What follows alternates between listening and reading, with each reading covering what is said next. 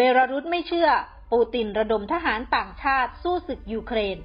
ผู้นำเบลารุสชี้ หากทหารเกาหลีเหนือเข้าร่วมสงครามยูเครน จะยกระดับการเผชิญหน้าแน่นอน แต่เขาไม่เชื่อว่าปูตินจะทำเช่นนั้น อย่างที่สหรัฐและชาติพันธมิตรกล่าวหา BBC CNN และรอยเตอร์ รายงานว่า ประธานาธิบดีอเล็กซานเดอร์ ลูกาเชนโก ผู้นำเบลารุสหนึ่งในพันธมิตรสนิทของประธานาธิบดีวลาดิเมียร์ปูติน ได้ให้สัมภาษณ์นอกรอบ ระหว่างการประชุมสุดยอดบริกที่เมืองคาซานประเทศรัสเซีย เมื่อวานนี้ 23 ตุลาคม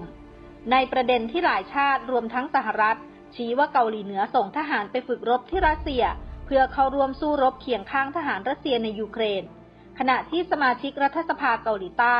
บอกว่าทหารเกาหลีเหนือราว 3,000 นายถูกส่งไปรัสเซียเรียบร้อยแล้ว ซึ่งลูกาเชนโกยอมรับว่า หากทหารต่างชาติเข้าร่วมรบในสมรภูมิยูเครนจริง ก็จะทำให้ความขัดแย้งทวีความรุนแรงขึ้นอย่างหลีกเลี่ยงไม่ได้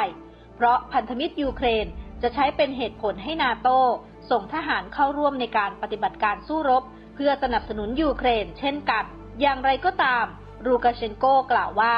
เขาไม่เชื่อว่าเกาหลีเหนือจะเตรียมความพร้อมทหารเพื่อส่งไปสนับสนุนทหารรัสเซียในยูเครนจริง เพราะดูจากบุคลิกของปูติน ปูตินไม่ใช่คนที่จะขอร้อง หรือชักชวนประเทศอื่น หรือแม้แต่เบลารุสมาเข้าร่วมในสงครามยูเครนแน่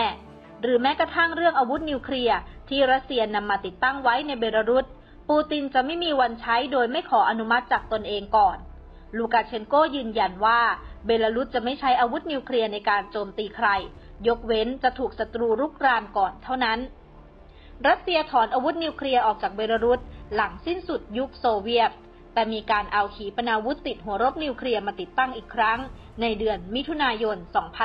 2566 อย่างไรก็ตาม รัสเซียได้หลีกเลี่ยงที่จะตอบคำถาม เรื่องการระดมทหารเกาหลีเหนือไปยูเครน โดยบอกเพียงว่ารัสเซียมีสิทธิ์อันชอบธรรมที่จะยกระดับความร่วมมือกับเกาหลีเหนือ